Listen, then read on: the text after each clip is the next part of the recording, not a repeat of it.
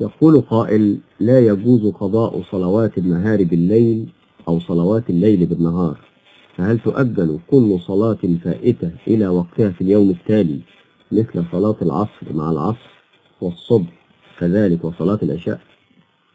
القضاء على الفور عند الجمهور وعليه فلا يجب أن يؤخر الإنسان قضاء صلاة الظهر إلى اليوم التالي ليصليها في وقت الظهر. ولا أن يؤخر صلاة العشاء ليصليها في وقت العشاء من اليوم التالي. بل تقضى أية صلاة في أي وقت من ليل أو نهار ما عدا الأوقات المكروهة عند بعض العلماء. كصلاة الظهر تقضى في وقت المغرب أو عشاء مثلا كذلك جائز حيث لا يوجد دليل على وجوب تحري الوقت المماس تقضى فيه الصلاة.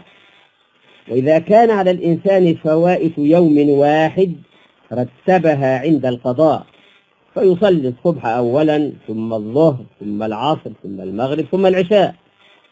فإن كانت الفوائت أكثر من خمس فهو حر في قضائها بأي نظام يكون. وله أن يصلي مع كل فرد فرضا أو فرضين من القضاء كأن يصلي بعد الظهر ظهرا أو ظهرين أو أكثر. ويستوي في ذلك أن يكون القضاء قبل أداء أو بعده إلا في أوقات الكراهة عند بعض العلماء فيكون القضاء قبل الأداء كقضاء العصر مثلا قبل أداء العصر الحاضر وهكذا. والله أعلم